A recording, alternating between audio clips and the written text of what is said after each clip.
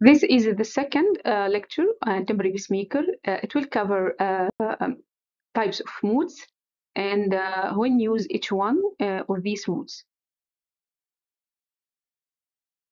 Uh, transmission starting from firing of SA node, then from the AS node to EV node, and from EV node to bundle of His, then to bilateral ventricle through the Purkinje fiber. If we have intact SA node, intact EV node, EV conduction system, and Purkinje fibers. Understanding pacing modes, synchronous versus asynchronous mode. Synchronous, the pacemaker paces at fixed rate, regardless the patient's intrinsic heart rhythm. Synchronous mode, which is, uh, for example, VVE, VVI, the pacemaker paces only when the patient intrinsic heart fall below the programmed lower rate, so it will providing backup pacing.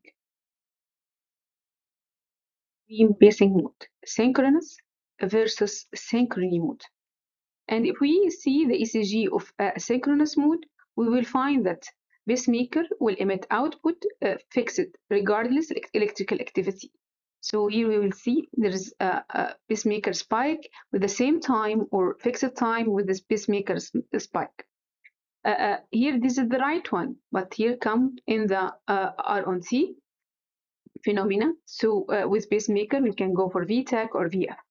But in the synchronous mode, the pacemaker will emit output only if there is no intrinsic activity. Now there is intrinsic activity, so the pacemaker will inhibit. This is uh, its activity. North American uh, Society of Pacing and Electrophysiology has developed code uh, so that when we are talking about what a pacer are set at. For temporary pacemaker, we use the first three letters of the code. Permanent pacers, we use five uh, letter position. Three positions we need to know. First letter is the chamber paced. The second letter will be the chamber sensed. Third letter responds to the sensing. Most common pacing uses VOO, which is uh, uh, the ventricle is pacing with no sensing, no uh, response. Or the second uh, thing is VVI. The chamber paced is ventricle, the chamber sensed is uh, ventricle, and the response is inhibition to the sensing. So, which we mentioned before, uh, and uh, we, as we mentioned, temporary pacemaker we have three letters. A permanent pacemaker will have five letters. And if we take the first one, first category is chamber paced. Zero come for none. A atrium, V ventricle, D dual, uh, atrium and ventricle. Uh, the second one is chamber paced, ch chamber sensed, which is zero for none, A for atrium, V for ventricle, D dual, atrium and ventricle. Third one is response to sensing, and the zero is none, uh, T is triggered, uh, I inhibition, D dual trigger plus inhibition. And if we go for uh, a permanent pacemaker, there will be a, position four for rate modulation. Zero, there is no. R is rate modulation. V uh, five uh, position is multisite pacing, which O for none, A atrium, V ventricle, D is dual A plus uh, uh, ventricle, atrium plus ventricle. And our concern is the uh, in temporary pacemaker, which is uh, our topic uh, this lecture, is uh, the first three position.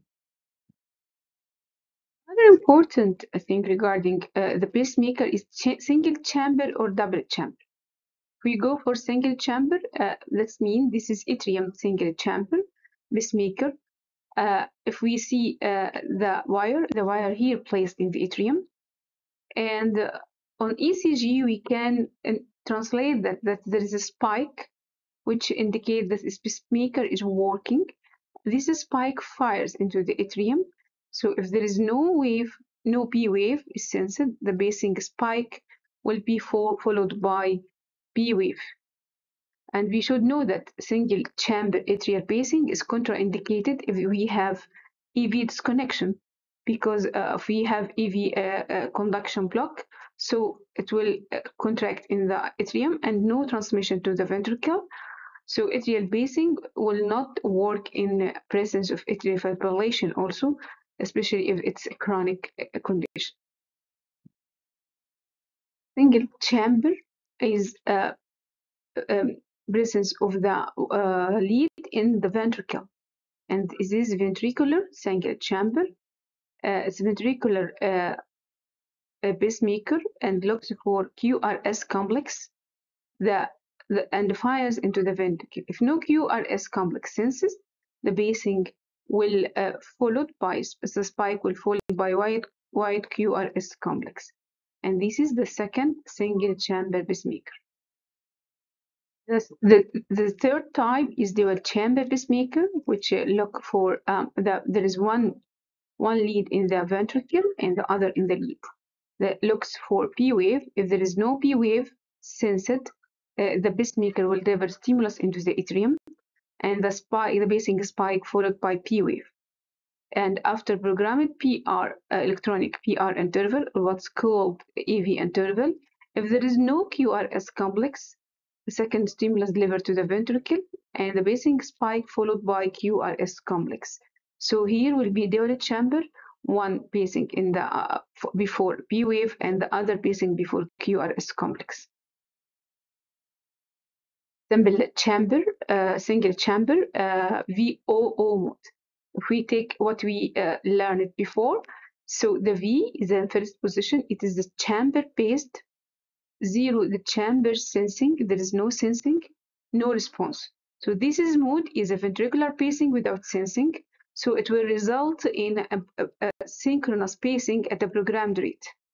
And here, uh, electrical impulse delivered to the ventricle. There is no sensing of intrinsic electrical activity. So it will pace regardless the intrinsic electrical activity. Sometimes R will be R on T and the VTAC will have happen, pacemaker syndrome will occur.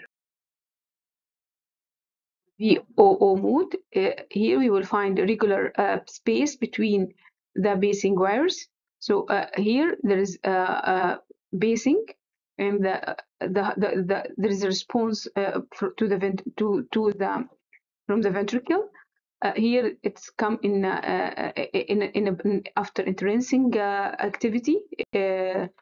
so it will be fixed rate for the pacemaker, no relation between the intrinsic electrical activity of the heart chamber VVI mode. VVI involving ventricular pacing and ventricular sensing. If an intrinsic QRS is uh, sensed, the ventricular pacing will inhibit it. So, ventricular pacing, the pacemaker deliver electrical impulse into the ventricle, and uh, sensing, the pacemaker detect ventricular intrinsic activity. So, there is inhibition. If there is inhibition when there is electrical activity, so it will inhibit and there is no contractility will happen. Ventricular pacing and sensing.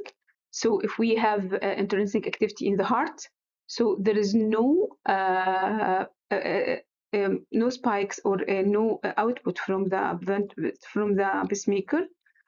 No intrinsic activity, so QRS complex not sensed. So there will be a, a spike and the response for from the ventricle. Uh, so if we have intrinsic activity, the ventricle pacing is inhibited. No intrinsic act activity, so the, the pacemaker will start to give.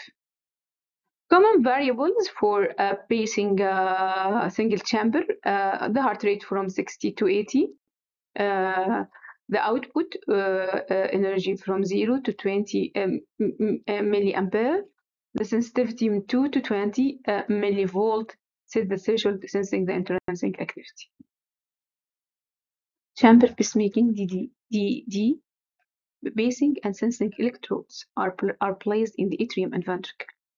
It can maintain EV synchrony and atrial sensing trigger ventricular pacing. It's a tracking. Atrial pacing can also trigger ventricular pacing. Uh, it can achieve uh, Q, narrow QRS complex natural uh, QRS depolarization. If there is a sinus node dysfunction, so atrial will pace and the ventricle will sense.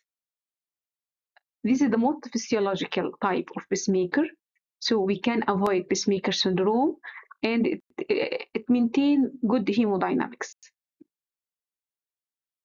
The pacemaker is uh, can be worked like we can atrium sensing, so it will trigger ventricular pacing, is the tracking. So if there's entrancing atrial beat, so it will trigger vent ventricular pacing. If there is no atrial beat, so atrial will pace, and it will trigger also uh, ventricular pacing. Mention how it's work. If the if a pacemaker can sense P wave from the atrium, so it will send electrical uh, stimulus to the atrium. If the stimulus, uh, uh, if the stimulus of the atrium we receive pacemaker spike, it will be followed by P wave. And the pacemaker is programmed to wait uh, to simul simulate electronic PR interval. In basic terminology, the, the artificial PR interval called AV interval. If the dual chamber uh, pacemaker sense QRS complex, it's inhibited from firing electrical impulse. If there is no, so it will fire QRS complex. So what the variables is atrial tracking to track the presence of uh, stimulus in the atrium and the upper uh, rate limit and post ventricular uh, atrial refractory period and uh, EV interval or what's called uh, PR interval. By electronic, electronic PR interval, uh, it's in terminology in the pacemaker. The atrial refractory period uh, it's very important to prevent uh, retrograde P wave from being sensed. So the purpose of this uh, uh, uh, to uh, avoid sensing P wave, and the timing is adjustable parameters. Examples of uh, ECG for DD, um, DD mode. First, the atrial sense and V uh, ventricular sense. So this intrinsic activity, no need for the base, basing fire. Uh, in the second ECG, uh, the atrial uh, cannot be sensed. There is no atrial activity, so atrial will be uh, pace. It will be followed by P wave. Then uh, after that, the ventricle is sensed. So there, uh, the QRS complex is an intrinsic from the heart itself. So the V is sensed. This ECG, the P wave is from intrinsic heart. So uh, it will be A sense, V paced, that mean uh, the, the QRS complex followed by a spike. So it's called atrial tracking uh, in, in the dual mode. For this uh, mode, the atrial is paced. There is no uh, sense, no activity in the atrium and no activity in the ventricle, and the ventricle is paced also. This is the references for this lecture. And thanks uh, for uh, listening for the lecture. And you can put the questions and the comment in the down in the comments.